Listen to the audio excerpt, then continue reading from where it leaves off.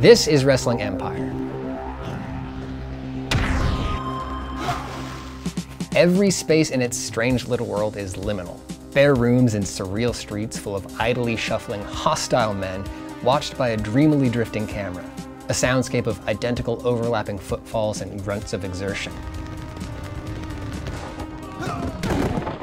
Pop the Twin Peaks soundtrack beneath any given clip of Wrestling Empire, and it'll just work.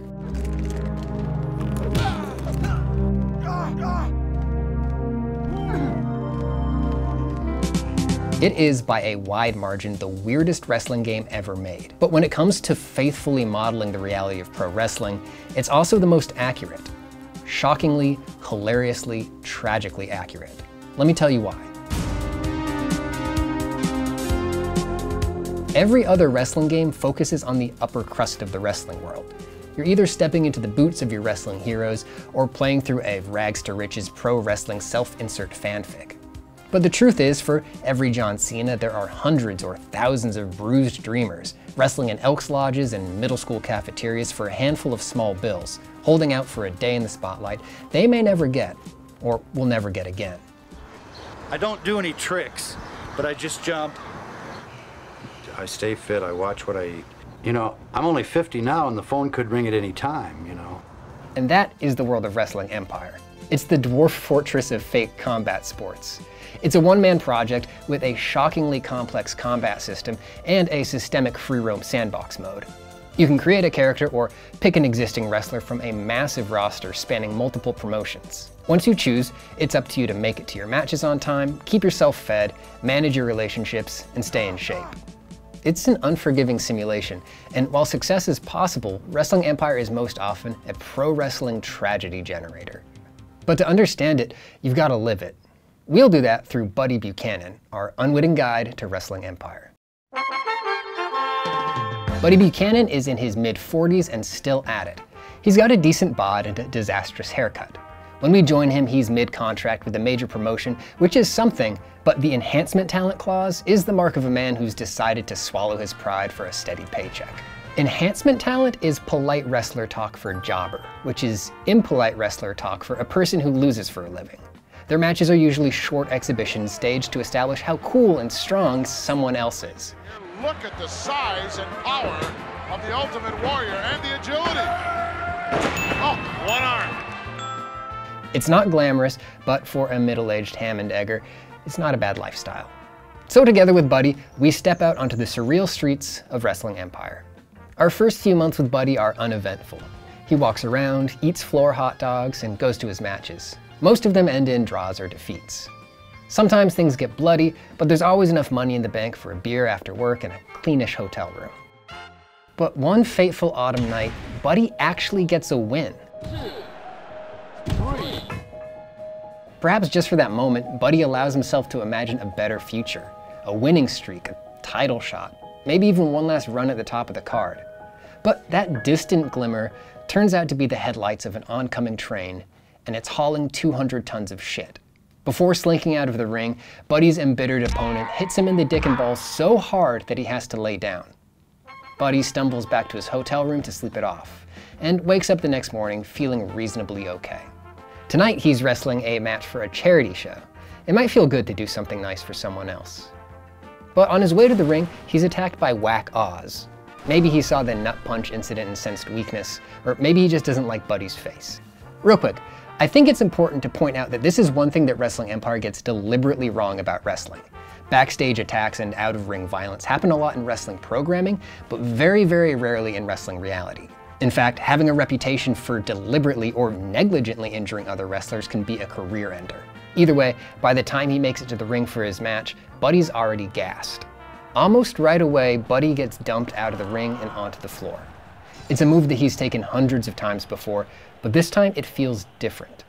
Try as he might, he can't get back into the ring, and the match ends via countout. Buddy can't seem to make it to the curtain on his feet, so he crawls. On the other side of the curtain, he's informed that he suffered a severe neck injury and he'll be out for up to 10 weeks. Before we can finish calculating the sum of missed paychecks, Buddy is summoned to the GM's office, who informs us that the promotion is understaffed and they need him on commentary. Now, if you're saying, hmm, A severely injured man being asked to return to work? That doesn't seem realistic. You're wrong. This is the first place the bizarre reality of Buddy's world overlaps with real life wrestling. This sort of thing happens. Worse things happen. A lot of people know that in 1998, The Undertaker threw Mankind off Hell in a Cell and he plummeted 22 feet through an announcer's table. But fewer people know that he got back up and climbed the cage again. Then he got dropped through the roof in a botched chokeslam. Then, with a concussion, internal bleeding, several missing teeth, and a dislocated jaw, he stood up and continued the match. Also, Taker had a fractured ankle the whole time. When Kerry Von Erich lost his foot after a motorcycle accident, he continued wrestling with a prosthetic hidden in his boot. His disability stayed a secret until after his death. In the first moments of an ROH bout with Takeshi Morishima, Bryan Danielson suffered a broken orbital and detached retina, and continued to deliver a barn burner of a match. In all of these cases, we can celebrate the grit and dedication of the performers, but if we zoom out a bit, we can see that these acts of valor and self-neglect happen in an environment that encourages them or makes them necessary. Vince McMahon's rebranding of wrestling as sports entertainment was meant to put the product alongside Hollywood and Major League Sports in the eyes of viewers. But you'd be hard pressed to find an athlete or entertainer who would endure the punishment that pro wrestlers are subjected to. If Tom Brady's eyeball is popping out of its socket, he's not going to finish the game. If Jason Statham is bleeding from all of his holes, he's going to get a ride to the hospital. But unlike actors and NFL players, wrestlers don't have unions, and we'll talk about unions again, to back them up, and tomorrow's payday is never guaranteed. So out of either pride or pragmatism in the face of an unforgiving economic reality, we decide to take the extra cash and Buddy drags his injured ass out to the commentary booth. After the match, we start our long trek to the hospital, and it seems like crawling is the only option. Buddy inches along, and we pray that he makes it before he passes out on the floor. Eventually, a kind passerby offers to take him the rest of the way. In the hospital, Buddy begins his long recovery. Each day, we watch his bank account shrink. One morning, he picks up the dirt sheets and reads that his promotion's ratings have jumped dramatically since Buddy Buchanan's disappearance. So that feels great. The next day, the doctor informs us that Buddy can accelerate his recovery with an expensive surgery. Weighing the risks and cost of surgery against lost wages, we decide to go for it. And once again, Wrestling Empire proves itself to be the most accurate wrestling sim in the world. Even the top tier of pro wrestlers at WWE and AEW are classified as independent contractors, even if they're forbidden from working elsewhere. Most of them have to buy their own health insurance and cover their own medical costs. For a handful of top earners, it's fine. But for everyone else, it's fucking bullshit. In the mid 1980s, Jesse the Body Ventura stepped into an elevator with NFLPA Executive Director Gene Upshaw. I remember Big Gene looked at me and all he said to me was, You boys need to unionize. Hmm. And I said, I know, Gene. He started backstage conversations about unionization and its possible benefits, like better pay and health care. But momentum was squashed when Hulk Hogan reportedly snitched to Vince McMahon. It's an important moment in wrestling history, and Wrestling Empire is the only game that addresses it. It is brutal, even more so for obscure upstarts and rundown vets. If they get hurt, they can't work, and they don't get paid. So they work hurt or they go into medical debt, or both. Luckily, we have enough cash in the bank to pay for the surgery, and in a few weeks, Buddy's back on his feet. But on the way out of the hospital, another doctor approaches and makes a proposition. Normally we'd say no to drugs, but here's the thing. We need it. Wrestling is a body business. A wrestler needs strength, agility, and endurance to do what they do in the ring. They need the stamina to do it up to 200 nights a year. On top of maintaining that incredible athletic function, wrestlers also have to consider form. You don't need to be 0% body fat and jacked as hell to be an incredible wrestler, and there's plenty of proof out there. But when mainstream audiences have been conditioned to conflate aesthetics with ability, and the bosses who hand out opportunities have demonstrated a strong preference for the improbably swole, the muscles aren't a matter of vanity. They're a life preserver. For a wrestler saddled with these unrealistic standards, steroids can be just what the doctor, or guy who knows a doctor, ordered. Steroids can help amass and maintain the bulky, shredded physiques we've come to expect from wrestlers. In addition to those visible enhancements, they can also reduce muscle and joint pain, and even accelerate recovery times. These benefits have caused many, many road worn wrestlers to hit the gas. But that help can come with a lot of hurt. There are the medical risks, and the risks of getting caught. Despite pro wrestling being a staged competition, performance enhancing drugs are still stigmatized. After a major steroid scandal in the early 90s and a string of untimely wrestler deaths in the early thousands, the WWE introduced a random testing policy. Violations can result in suspensions and firing. It's an arrangement that protects the company and puts more pressure on the individual wrestlers, who were still expected to work the same grueling schedules under the same conditions. If you can't cut it, get out. You know, if for some reason you have to rely on drugs, illegal drug usage to make it, boy, you're going to self destruct. Trapped between impossible expectations and career threatening punishment, it seems like there are no right moves. Stay clean and live every day in pain. Take your time on the mend and watch the spotlight move on to the next guy. Or roll the dice and go big. If you get busted, the company will be fine, but you won't. Buddy decides to accept the risks and the stigma and gets geared to the gills. Maybe, just maybe, it'll help us turn things around. The next morning, he's summoned to the boss's office, who tells Buddy that it's time for a new look, and he doesn't have a choice in the matter. Buddy leaves the office with a new set of edgier duds, not quite feeling himself, but willing to make it work. It's another absurd turn of events that's pulled from wrestling reality. At promotions with more hands-on leadership, a wrestler can find their identity erased and rewritten at the drop of a hat. Evil dentist Dr. Isaac Yankem can become the hell-born demon Kane, even wrestling royalty like Dustin Runnels can be transformed into the pansexual enigma, Goldust. Sometimes these changes can be an attempt to freshen an image and reinvigorate the audience. Other times they're purely punitive. Compared to those pivots, a fresh pair of leather pants seems downright mild. We shuffle out of the office and to the vending machine hoping to fuel up for our match. But once again, Buddy Buchanan is brutally blindsided, and snack time is ruined. In a daze, he stumbles towards the curtain.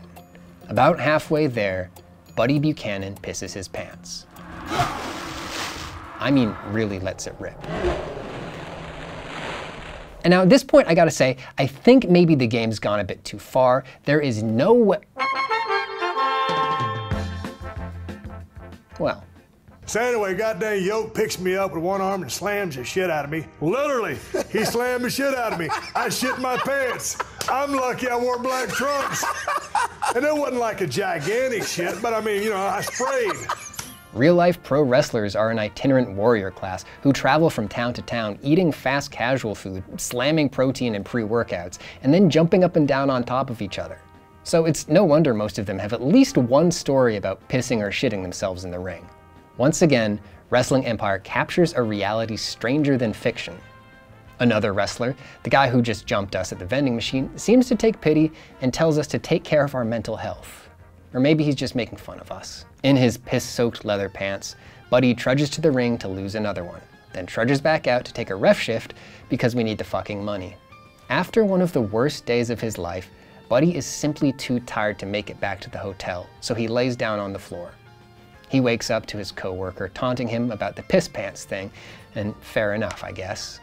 Buddy hasn't showered yet, so I imagine there's a bit of a smell.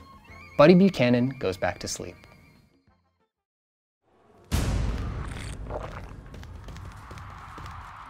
Snow falls on Empire Avenue, but Buddy is not feeling in the holiday spirit. He's booked in a Christmas gimmick match against Hong Shin, a masked martial artist. Buddy shuffles to the ring, which is overflowing with presents. You might think that these shenanigans are beneath a seasoned grappler and an expert martial artist, but you would be wrong. This is another thing that Wrestling Empire understands about wrestling. Wrestling is not a genre of entertainment, it's a medium. The squared circle can be home to underdog sports stories, vicious blood feuds, technical showcases, or pure clown shit. Whichever story a performer is dropped into, the most important thing is that they commit fully. So Buddy, aching, tired, jacked up on horse testosterone and over the hill, picks up an elegantly wrapped Christmas present and smashes it into the forehead of his opponent. The match gets surprisingly violent, spilling out of the ring and onto the floor, but it ends in an anticlimactic tap out. But as Buddy tries to make it through the curtain, it becomes clear that something is wrong. After every few steps, he collapses to the ground. The hospital is a 50 meter crawl, and Buddy has no choice but to drag himself towards the medical intervention he so badly needs. Halfway through the gymnasium, someone finally offers him a hand, but it's too late.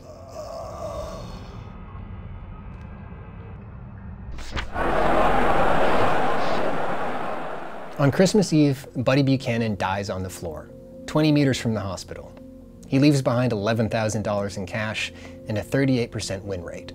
This is the same place most of my Wrestling Empire campaigns have ended an anticlimactic, undignified death outside the ring. When it happens in the game to one of our repulsive little guys, it's shocking and darkly funny. But unfortunately, this is one of the saddest things that this wrestling fever dream gets right about wrestling reality. There is no retirement plan for pro wrestlers. It's get rich or die trying. Wrestling is it has a tremendous entrance plan. You come in as boy, here you are, you rock and roll and everything is wonderful. It's got no exit plan. What what would you have me do at 49 when I, my pension plan I can't take out till I'm 65? I'm not going to make 65. Let's just face facts, guys. When Dave Shoemaker wrote his history of American pro wrestling, just about every major character had an unplanned exit. And after living through the surreal simulations of Wrestling Empire, the reasons why are clear. Part of being a wrestling fan is knowing this. You want your favorite to win and get big moments in the spotlight, but you also want to see them live and retire in health, maybe even die at a reasonable age. And the wrestlers know it too. They live it and they keep going. And you know, that's all the stuff it's just bad about wrestling. You know, the the injuries and the toll it takes on your body and the toll it takes on your family. We were talking about all the different options and stuff that I have. You know, I could go back to school, I could go work in the mill. But right before my dad got up to make me a tuna sandwich, he turns to me and he says, "You know, but this is the life you always wanted."